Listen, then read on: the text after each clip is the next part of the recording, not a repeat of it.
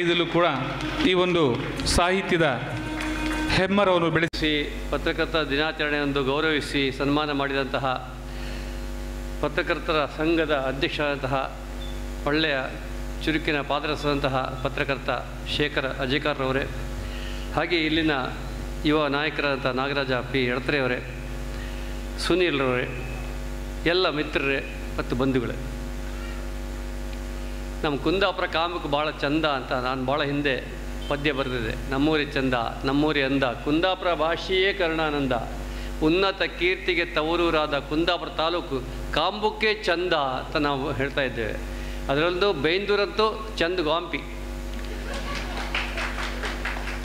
ಹೌದು, ಇಲ್ಲಿ ಬೈಂದೂರಿಗೆ ಇದ್ದ ಹಾಗೆ ಒಂದು ಸಮುದ್ರ, ಸಮುದ್ರದ ಬದಿ, ಒಂದು ಸೇನೇಶ್ವರ ದೇವಸ್ಥಾನ, ಈ ಒಂದು ಶಾರದ ವೇದಿಕೆ ಎಲ್ಲಿತ್ತು ಬರ್ರೆ ನಾನು ಎಷ್ಟು ಸಲ ಈ ಶಾರದ ವೇದಿಕೆ ಮೇಲೆ ಬಂದು ಭಾಷಣ ಮಾಡಿದ್ದೇನೋ, ನಂಗೆ ಎಷ್ಟು ಸಲ ಭಾಷಣ ಮಾಡ್ರು ಅಷ್ಟು ಖುಷಿ ಆಗ್ತದೆ ಇಲ್ಲಿ.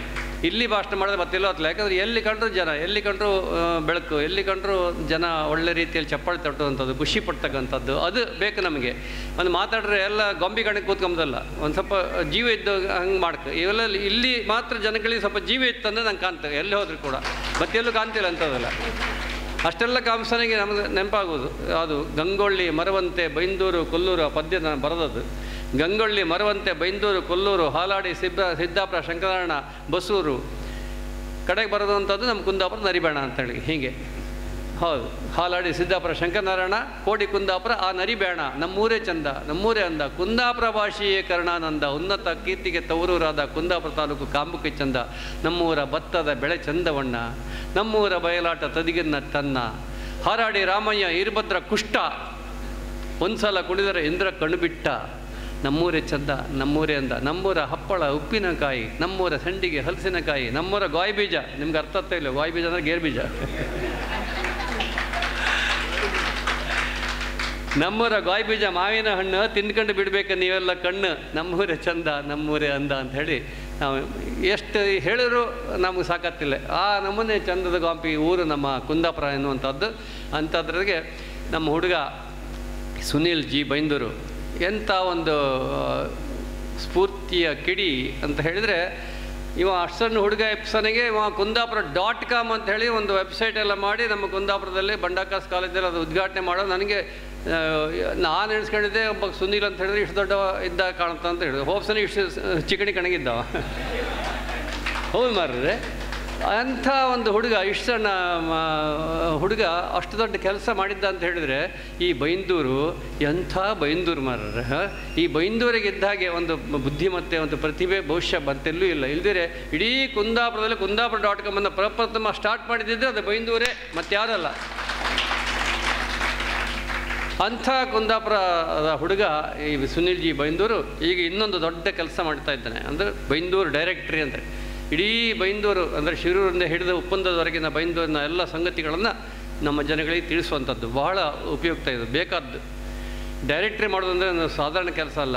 ಡೈರೆಕ್ಟ್ರಿ ಮಾಡಿ ಮಾಡಿ ನಂಗೆ ಸಾಕಾಯಿತು. ಯಾಕಂದರೆ ನಾನು ಶತಾಬ್ದಿ ಗೌರ್ನರ್ ರೋಟ್ರಿ ಗೌರ್ನರ್ ಈವರೆಗೆ ಯಾರೂ ಮಾಡದಿದ್ದು ಕೆಲಸ ಮಾಡಕು ರೋಟ್ರಿ ಒಳಗೆ ಅಂತ ಹೊರಟೆ ನಾನು. ಎಂತ ಮಾಡಕು? ಒಂದು ನಮಗೆ ಇಡೀ ಎಂಟು ಜಿಲ್ಲೆ, ರೆವೆನ್ಯೂ ಜಿಲ್ಲೆ, ಅಲ್ಲಿ ಸುಮಾರು ನಾಲ್ಕೈದು ಸಾವಿರ ಜನ ಮೆಂಬರ್ ರೋಟ್ರಿ ಮೆಂಬರ್ ನಾನು ಹೇಳಿದೆ, ಇದು ಶತಾಬ್ದಿ ವರ್ಷ ಆದ್ದರಿಂದ ಒಂದು ಶತಾಬ್ದಿ ಡೈರೆಕ್ಟ್ರಿ ಮಾಡ್ತೆ ಎಲ್ಲರೂ ಫೋಟೋ ಕಳಿಸಿ ಕೊಡ್ತು. ಅವರವ್ರ ಫೋಟೋ ಹಾಕ್ತೆ ಅಡ್ರೆಸ್ ಹಾಕ್ತೆ ಫೋನ್ ನಂಬರ್ ಹಾಕ್ತೆ, ಅವರವ್ರ ಹೆಂಡತಿ ಹೆಸರು ಹಾಕ್ತೆ, ಅವರವ್ರದ್ದೇ ಹೆಂಡತಿ ಹೆಸರು ಹಾಕ್ತೆ.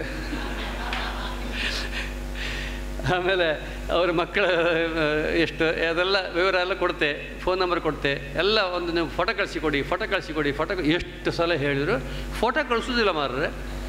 ಎಂತ ನಂಗೆ ಅರ್ಥ ಇಲ್ಲ ಇದು. ನಾನು ಡೈರೆಕ್ಟ್ರಿ ಪ್ರಿಂಟ್ ಮಾಡೋದು. ನಿಮಗೊಂದು ಮುಕ್ಕಾಲು ಖರ್ಚ ಖರ್ಚಿಲ್ಲ ನಾನು ಪ್ರಿಂಟ್ ಮಾಡೋದಕ್ಕೆ ನಿಮಗೊಂದು ಕೊಡೋದು.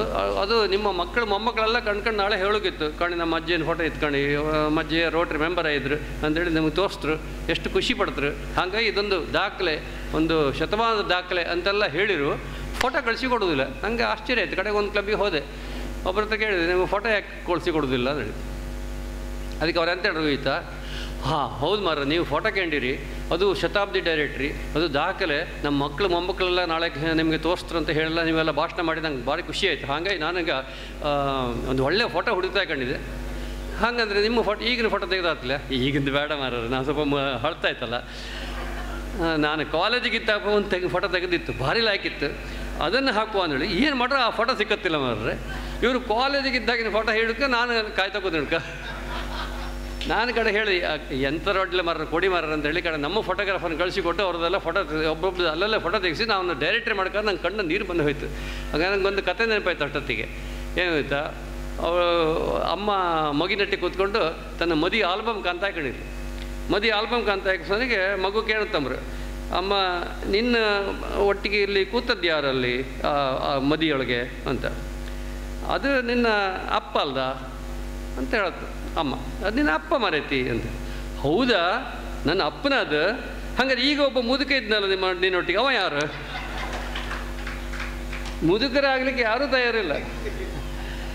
ಎಲ್ಲ ಆಗಿನ ಕಾಲದ ಫೋಟೋ, ಕಾಲೇಜ್ನಾಗಿದ್ದ ಫೋಟೋ, ಚಂದದ ಫೋಟೋ ಹಾಕುವಂತ ಹಾಗಾಗಿ ಒಂದು ಡೈರೆಕ್ಟ್ರಿ ಮಾಡೋದಂದ್ರೆ ಒಂದು ಸಣ್ಣ ಕೆಲಸವೇ ಅಲ್ಲ. ಯಾರೂ ಸಮಾಚಾರ ಕೊಡೋದಿಲ್ಲ, ಯಾರೂ ಮಾಹಿತಿ ಕೊಡೋದಿಲ್ಲ, ಕಡಿ ಕೊಡ್ತೆ ಅಂತಾರೆ ಹುಡುಕ್ತೆ ಅಂತಾರೆ ಮತ್ತೊಂದು ಮಾಡ್ತಾರೆ. ಒಂದು ಸುನೀಲ್ರಿಗೆ ಎಷ್ಟು ಕಷ್ಟ ಆಗಿರ್ಬೇಕು ಅಂತ ಡೈರೆಕ್ಟ್ರಿ ಮಾಡ್ಕಂತ ಹೇಳಿದರೆ ಅದು ನನಗೆ ಅರ್ಥ ಆಯ್ತು. ಯಾಕಂದ್ರೆ ನಾನು ಸಹ ಆ ಡೈರೆಕ್ಟ್ರಿ ಮಾಡ್ದವಾದ್ರಿಂದ ಅರ್ಥ ಆಯ್ತು ನನಗೆ. ಹೀಗೆ ಶಿರುವಿಂದ ಉಪ್ಪಂದದವರೆಗೆಂದು, ಆ, ಸಮುದ್ರ ಬದಿಯಾಗಲಿ, ಆ, ದೇವಸ್ಥಾನಗಳಾಗಲಿ, ಆ ಸೇನೇಶ್ವರ ದೇವಸ್ಥಾನ ಆಗಲಿ, ಆ, ಸೋಮೇಶ್ವರ ಆಗಲಿ ಇಲ್ಲಿ ಗಂಗನಾಡಾಗಲಿ ಎಲ್ಲಿ ಯಾವ ಯಾವ ಸಂಗತಿಗಳು ಇತ್ತಂತ ಹೇಳಿದರೆ ನಮಗೆ ಅದ್ರ ವಿಷಯ ಹೇಳೋಕ್ಕೆ ಬರ್ತಿಲ್ಲ ಅದನ್ನೆಲ್ಲ ತಗ ತಗ ಸಂಗ್ರಹ ಮಾಡಿದ್ರ ಜೊತೆಗೆ ಯಾರ್ಯಾರು ಇಲ್ಲಿ ದೊಡ್ಡ ದೊಡ್ಡ ಮನುಷ್ಯರಿದ್ದರು ದೊಡ್ಡ ದೊಡ್ಡ ಮನುಷ್ಯರು ಅಂದರೆ ಎಲ್ಲರೂ ದೊಡ್ಡ ಮನುಷ್ಯರು, ಯಾರು? ಬೇಜಾರು ಮಾಡೋದು ಬೇಡ. ಒಬ್ಬ ಒಂದು ಊರಿಗೆ ಹೋಗಿ ಹೇಳಿದಂತೆ, ನಿಮ್ಮ ಊರಿಗೆ ದೊಡ್ಡ ಮನುಷ್ಯರು ಯಾರು ಹುಟ್ಟಿರಾ? ಅಂತ ಕೇಳಂತೆ ಆಗ ಮಗು ಹೇಳ್ತಂತೆ, ಇಲ್ಲಿ ಎಲ್ಲ ಮಕ್ಕಳೇ ಹುಟ್ಟೋದು, ದೊಡ್ಡ ಮನುಷ್ಯರಾಗಿ ಯಾರು ಹುಟ್ಟೋದಿಲ್ಲ ಅಂತ ಹೇಳ್ತಂತೆ. ಹುಟ್ಟುವಾಗ ಎಲ್ಲ ಮಕ್ಕಳಾಗಿ ಹುಟ್ಟೋದು, ಕಡೆಗೆ ದೊಡ್ಡ ಮನುಷ್ಯರಾಗೋದು. ಅಲ್ವಾ ಸ್ವಾಮಿ. ಹೌದು. ಹಾಗಾಗಿ ಎಲ್ಲ ವ್ಯಕ್ತಿಗಳ, ಅಂದರೆ ಒಂದು ಊರಿಗೆ ಹೋದರೆ ಯಾರನ್ನು ಮಾತಾಡಿಸ್ಕು ಯಾರು ಇಲ್ಲಿ ಒಳ್ಳೆ ಕೃಷಿಕರು? ಯಾರು ಇಲ್ಲಿ ಒಳ್ಳೆ ವಕೀಲರು? ಒಳ್ಳೆ ಡಾಕ್ಟ್ರ್ ಯಾರು? ಇದೆಲ್ಲ ಗೊತ್ತಾಯ್ಕಾರೆ ಆ ಡೈರೆಕ್ಟ್ರಿಯಲ್ಲಿ ಇರಬೇಕಾಗ್ತದೆ. ಒಂದು ಡೈರೆಕ್ಟ್ರಿ ನಾನು ಶತಾಬ್ದಿ ಡೈರೆಕ್ಟ್ರಿ ಮಾಡಿದ್ದೇ ಮಾಡಿದ್ದು. ಎಷ್ಟು ಪ್ರಯೋಜನ ಆಯ್ತು ಇವತ್ತಿಗೂ ಅಂತ ಹೇಳಿದ್ರೆ ಅದು ಮಾಡಿ ಹತ್ತು ವರ್ಷ ಮೇಲಾಯಿತು. ಇವತ್ತಿಗೂ ನನ್ನ ಡೈರೆಕ್ಟ್ರಿಗೆ ಬೇಡಿಕೆ ಇತ್ತು. ಯಾಕಂದರೆ ರೋಟ್ರಿ ಕ್ಲಬ್ನಲ್ಲಿ ನೀವು, ರೋಟ್ರಿ ಕ್ಲಬ್ ಇರ್ತಕ್ಕಂಥ ಯಾವುದೇ ಊರಿಗೆ ಹೋಗಿ ಅದು ಮೈಸೂರು ಜಿಲ್ಲೆ ಇರ್ಬೋದು, ಚಾಮರಾಜಪೇಟೆ ಜಿಲ್ಲೆ ಇರ್ಬೋದು, ಕೊಡಗು ಜಿಲ್ಲೆ ಇರ್ಬೋದು, ಉಡುಪಿ ಜಿಲ್ಲೆ ಇರ್ಬೋದು, ಶಿವಮೊಗ್ಗ ಜಿಲ್ಲೆ ಇರ್ಬೋದು, ಅಥವಾ ದಕ್ಷಿಣ ಕನ್ನಡ ಜಿಲ್ಲೆ ಇರ್ಬೋದು, ಮಡಿಕೇರಿ ಜಿಲ್ಲೆ ಇರ್ಬೋದು, ಹಾಸನ ಜಿಲ್ಲೆ ಇರ್ಬೋದು, ಚಿಕ್ಕಮಗಳೂರು ಜಿಲ್ಲೆ ಇರ್ಬೋದು, ಯಾವ ಊರಿಗೆ ಹೋದರೂ ನನ್ನ ಡೈರೆಕ್ಟ್ರಿ ಹಿಡ್ಕೊಂಡು ಹೋದರು. ಹೋದರೆ ಅಲ್ಲಿ ಏನಾದ್ರು ತೊಂದರೆ ಆದರೆ ಅಲ್ಲಿ ಕೂಡಲೇ ಚಿಕ್ಕಮಗಳೂರು ಕ್ಲಬ್, ಮೆಮ್, ಸದಸ್ಯರು, ಹೆಸರು, ಅವರ ಫೋನ್ ನಂಬರ, ಅವ್ರು ಯಾವ ರಸ್ತೆಯಲ್ಲಿದ್ದಾರೆ ಎಷ್ಟು ಉಪಕಾರ ಆಯಿತು ಅಂತೇಳಿ ಎಲ್ಲರೂ ಮರ ಒಂದು ಡೈರೆಕ್ಟ್ರಿ ಮಾಡಿ ನಮ್ಗೆ ಅಷ್ಟು ಉಪಕಾರ ಆಯಿತು. ನಮಗೆ ಎಲ್ಲಿ ಹೋದರೂ ಕೂಡ ನಾವು ಒಂದು ತಪ್ಪಿ ಹೋಯ್ತು ಅಥವಾ ನಾವೊಂದು ಕಳೆದು ಹೋಯಿತು ಅಥವಾ ಒಂದು ಅನಾಥ ಪ್ರಜ್ಞೆ ಬತ್ತಿಲ್ಲ ನಮಗೆ. ಯಾಕಂದ್ರೆ ನಾವೊಂದು ಇಡೀ ವಿಶ್ವಕ್ಕೆ ಸೇರಿದವರು, ಒಂದು ರೋಟರಿ ಜಿಲ್ಲೆ ಸೇರಿದ ಒಂದು ಭಾವನೆ ಬತ್ತು ನಮಗೆ. ಹಾಗಾಗಿ ನಮ್ಗೆ ನಮ್ಮ ಪೈಕಿಯವರು ಇದ್ರಲ್ಲಿ ಅಂತ ಆಯ್ತು. ಹಂಗೆ, ಅಂತೆಲ್ಲ ಹೇಳಿದರು. ನಂಗೆ ಭಾಳ ಖುಷಿ ಆಯ್ತು. ಒಂದು ಮಾ, ಒಂದು ಡೈರೆಕ್ಟ್ರಿ ಮಾಡಿದಕ್ಕೆ ಸಾರ್ಥಕತೆ ಆಯ್ತು ಅಂತ. ಇವತ್ತು ಸುನೀಲ್ ಅವರಿಗೆ ಹಾಗೆ ಒಂದು ಭಾವನೆ ಬತ್ತು. ಯಾಕಂದರೆ ನಾಳೆ ಎಲ್ಲ ಈಚೆ ಬಪ್ಪರ ಬಪ್ಪರೆಲ್ಲ ಆ ಡೈರೆಕ್ಟ್ರಿ ಹಿಡ್ಕೊಂಡೇ ಬತ್ತು ಬೈಂದೂರು ಸೈಡಿ ಬಪ್ಪರು ಡೈರೆಕ್ಟ್ರಿ ಇಲ್ಲದೆ ಬತ್ತಿಲ್ಲ. ಯಾಕಂದರೆ ಆ ಡೈರೆಕ್ಟ್ರಿ ಕಂಡ್ಕೊಂಡ್ರೆ ಎಲ್ಲಿ ಬೇಕಾದ್ರೂ ಹೋಗ್ಕತ್ತು ಯಾವ ಇಲ್ಲಿ ಬೈಂದೂರು ಬದಿಯಲ್ಲಿ ಎಲ್ಲಿ ಎಂಥ ಕಾಣಕು ಎಂಥ ಕಾಮಕ್ಕೆ ಆಗ. ಅದು ಸಮೇತ. ಮತ್ತು ಯಾರನ್ನೆಲ್ಲ ಕಾಣಕ್ಕೆ ಯಾರನ್ನೆಲ್ಲ ಮಾತಾಡ್ಸ್ಲಕ್ಕೆ, ಏನು ವಿಶೇಷ ಇತ್ತು, ಎಲ್ಲ.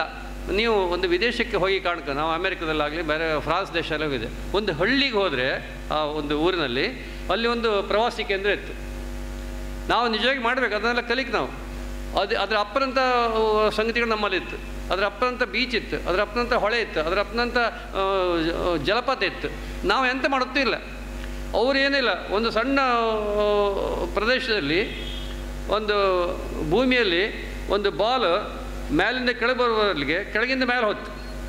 ಒಂದು ಗುರುತ್ವಾಕರ್ಷಣೆಯಿಂದ. ಕೂಡಲೇ ಅಲ್ಲಿಗೊಂದು ಬೇಲಿ ಹಾಕಿಬಿಟ್ರು. ಒಂದು ಸೆನ್ಸೇಷನ್ ಸ್ಪಾಟ್ ಅಂತ ಬೋರ್ಡ್ ಹಾಕಿರು ಒಂದು ಹತ್ತು ಡಾಲರ್ ಪ್ರವೇಶ ದಾನ ಇಟ್ಟರು ಮತ್ತು ಹೋಪರಿಗೆಲ್ಲ ಅಲ್ಲಿ ಒಂದೊಂದು ಪುಸ್ತಕ ಕೊಟ್ಟರು. ಇಲ್ಲಿ ಹಂಗತ್ತೆ, ಹಿಂಗತ್ತೆ ಹಿಂಗತ್ತೆ, ಹಂಗತ್ತೆ ದುಡ್ಡೇ ಮಾಡೋದು. ಆ ನಮ್ಮನೆ ಜನಗಳು, ಆ ನಮನೆ ಅಟ್ರಾಕ್ಷನ್ ಮಾಡ್ತಾರೆ. ಅಷ್ಟು ಚಂದ, ಅಷ್ಟು ಸೌಂದರ್ಯ ಪ್ರಜ್ಞೆ ಇತ್ತು ಅವರಿಗೆ. ಅಷ್ಟು ಚಂದ ಮಾಡಿ, ಹಸಿರು ಬೆಳೆದು ಗಾರ್ಡನ್ ಮಾಡಿ ಎಲ್ಲ ಇಟ್ಟರು ನಮ್ಮೂರಿಗೆ ಅಂಥದ್ದೆಲ್ಲ ಮಸ್ತಿತ್ತು ಅಲ್ಲಿ ಯಾವ ಊರಿಗೆ ಹೋಗಿ, ಒಂದು ಪ್ರವಾಸಿ ಕೇಂದ್ರ ಇತ್ತು. ಆ ಪ್ರವಾಸಿ ಕೇಂದ್ರಕ್ಕೆ ಹೋಗಿ ನಾನು ಹೇಳಿದೆ, ಫ್ರಾನ್ಸ್ ದೇಶಕ್ಕೆ ಹೋದಾಗ. ನಾನು ಭಾರತದಿಂದ ಬಂದಂಥ ಒಬ್ಬ ಪತ್ರಕರ್ತ, ಈ ಊರಿನಲ್ಲಿ ಏನು ನೋಡಲಿಕ್ಕುಂಟು? ಓ, ಭಾಳ ಸಂತೋಷ. ಬನ್ನಿ ಅಂಥೇಳಿ ಆ ಇಡೀ ಊರಿನ ನಕ್ಷೆ ನಂಗೆ ಕೊಟ್ಟು ಆ ಇಡೀ ಊರಿನಲ್ಲಿ ಏನೇನು ಒಳ್ಳೊಳ್ಳೆಯ ಪ್ರೇಕ್ಷಣೀಯ ಸ್ಥಳ ಇತ್ತು ಅದರ ಫೋಟೋ ನನಗೆ ಫ್ರೀ. ನೀವು ನಿಮ್ಮ ಭಾರತಕ್ಕೆ ಹೋಗಿ ನಿಮ್ಮ ಪೇಪರ್ನಲ್ಲಿ ನಮ್ಮೂರಿನ ಫೋಟೋ ಹಾಕಬೇಕು. ಇಗೊಳ್ಳಿ ಫ್ರೀಯಾಗಿ ನಿಮಗೆ ಕೊಡ್ತೇವೆ. ಕೊಟ್ಟು, ಆ ಪುಸ್ತಕ ಕೊಟ್ಟು ನಿಮಗೆ ಗೈಡ್ ಬೇಕಾ? ಬೇಕಾ ನಾವು ಬಂದು ತೋರಿಸ್ತೇವೆ ಅಂತೇಳಿ ಅಷ್ಟರ ಮಟ್ಟಿ ಮಾಡ್ತಾರೆ. ಆ ರೀತಿ ವ್ಯವಸ್ಥೆ ಅಲ್ಲಿತ್ತು ಇವತ್ತು ನಮ್ಮ ದೇಶದಲ್ಲಿ ಗ್ರಾಚಾರವಶಾತ್ ಏನಾಗಿದೆ ಅಂತ ಹೇಳಿದ್ರೆ ನಮ್ಮ ಆಡಳಿತ ಮಾಡ್ತಕ್ಕಂಥ ಜನಗಳಿಗೆ ಈ ಊರನ್ನು ಒಂದು ಆಕರ್ಷಣೆ ಪ್ರೇಕ್ಷ, ಪ್ರೇಕ್ಷಣೀಯ ಸ್ಥಳ ಮಾಡ್ಕೊಂಬುದು ಒಂದು ಪ್ರಜ್ಞೆಯೇ ಇಲ್ಲ. ಇಲ್ದಿರಿ ಇವತ್ತಿಗೆ ನಮ್ಮ ಈ ಮರವಂತೆ, ಇಡೀ ಜಗತ್ತಲ್ಲೇ ಪ್ರಸಿದ್ಧವಾದಂತಹ ಒಂದು ಮರವಂತೆಯ ಒಂದು ಬೀಚು. ಈ ಪ್ರಪಂಚದಲ್ಲಿ ಒಂದು ಬದಿಯಲ್ಲಿ ಸೌಪರ್ಣಿಕ ನದಿ ಎಷ್ಟು ಸೌಮ್ಯವಾಗಿ ಹರಿತಾ ಇರ್ತದೋ, ಇನ್ನೊಂದು ಬದಿಯಲ್ಲಿ ಅರಬ್ಬಿ ಸಮುದ್ರ ಅಷ್ಟು ಭೀಕರವಾಗಿ ದೊಡ್ಡ ದೊಡ್ಡ ಅಲೆಯಿಂದ ಗರ್ಜಿಸ್ತಾ ಅಪ್ಪಳಿಸ್ತಾ ಇರ್ತದೆ. ಎಲ್ಲಿ ಉಂಟು ಮಧ್ಯದಲ್ಲಿ ರಸ್ತೆ ಮಾತ್ರ ಇರತಕ್ಕಂಥದ್ದು.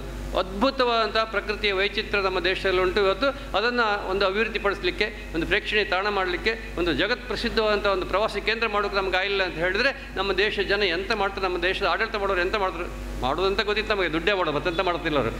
ಹಾಗೆ, ಅಷ್ಟೇ ಮಾಡೋದು.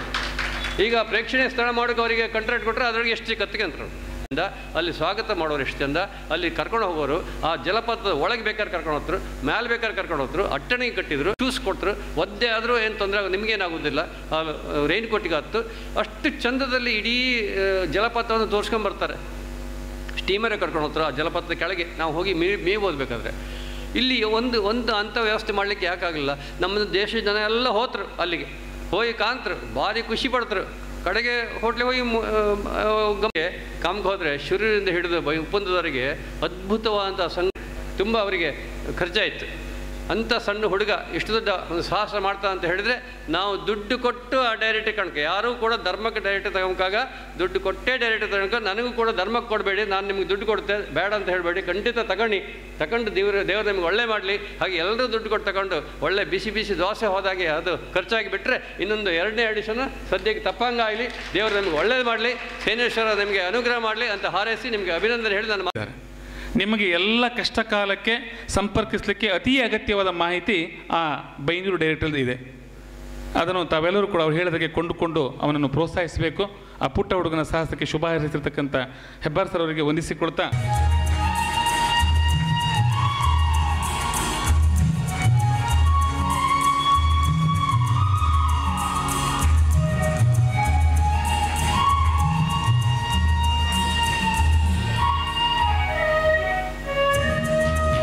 ಖ್ಯಾತ ಸಾಹಿತಿ ಶ್ರೀಯುತ ನಾಡಿ ಸೋಜಾ ಸರ್ ಅವರಿಗೆ ಈ ಬೈನೂರಿನ ಸರ್ವ ಎಲ್ಲ ನಾಗರಿಕ ಬಂಧುಗಳ ಪರವಾಗಿ ಆತ್ಮೀಯವಾದ ವಂದನೆ ಸಲ್ಲಿಸಿಕೊಳ್ತಾ ಇದ್ದೇವೆ.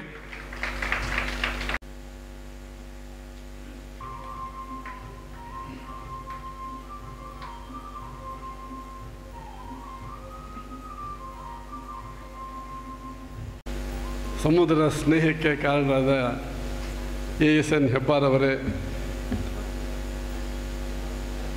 ಅಧಿಕಾರ ಶೇಖರ್ ಅವರೇ, ನಾಗರಾಜ್ ಎಡ್ತಾರೆ ಅವರೇ ಭಾಳ ವಿಶೇಷವಾಗಿ ನನ್ನ ಕಿರಿಯ ಸ್ನೇಹಿತ ಸುನೀಲ್ ಎಚ್ ಜಿ ಬೈಂದೂರವರೇ ವೇದಿಕೆಯ ಮೇಲಿರುವ ಎಲ್ಲ ಸ್ನೇಹಿತರೆ, ಅಭಿಮಾನಿಗಳು.